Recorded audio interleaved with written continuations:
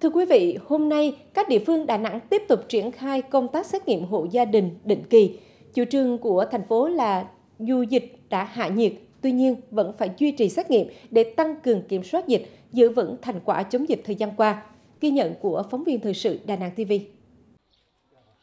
Từ sáng sớm, người dân đã tập trung tại các điểm xét nghiệm ở khu dân cư để thực hiện công tác lấy mẫu.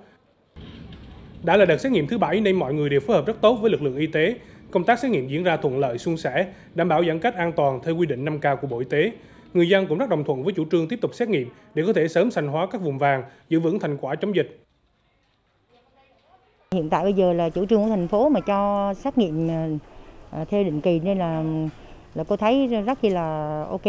À, mong sao có thành phố mình là cố gắng giữ được cái duy trì này đến khi mà mà trong cái thành phố mình hết những cái ca nhiễm bệnh như này là dân dân của cô rất chi là đồng tình.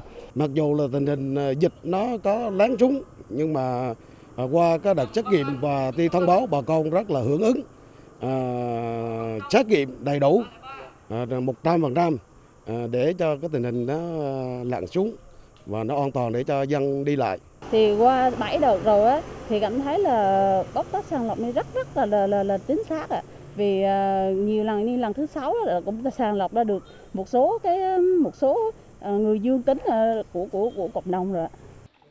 Các địa phương cũng cho biết sẽ tiếp tục tập trung xét nghiệm tại các khu vực thiết lập cách ly y tế và mở rộng phương án xét nghiệm nếu cần thiết.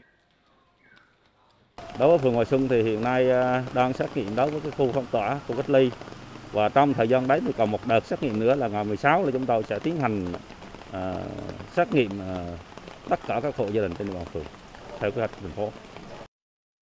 Theo thống kê của Ban chỉ đạo phòng chống dịch COVID-19 thành phố, hiện tại toàn thành phố có 24 xã phường 14 ngày liên tiếp không có ca mắc trong cộng đồng và không có khu phong tỏa.